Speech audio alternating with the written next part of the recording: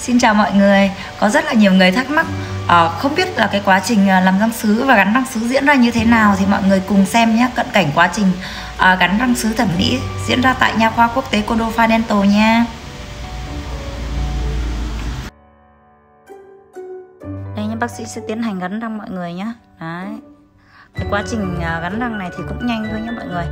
À, nếu sau khi mà khách mà ưng form dáng này màu sắc này của răng thì bác sĩ sẽ tiến hành gắn thường thì gắn như thế này sẽ mất khoảng tầm 30 phút đến một tiếng là xong thôi nhá.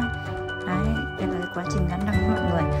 À, trong cái quá trình gắn răng này thì à, ờ, cũng rất là nhẹ nhàng tôi không đau đớn gì đâu nhá. Cái ca này khách bị hô và chìa răng rất là nhiều nhé mọi người có thể xem hình ảnh trước khi làm mọi người này. Đấy gắn nhẹ nhàng vậy thôi mọi người nhé đó.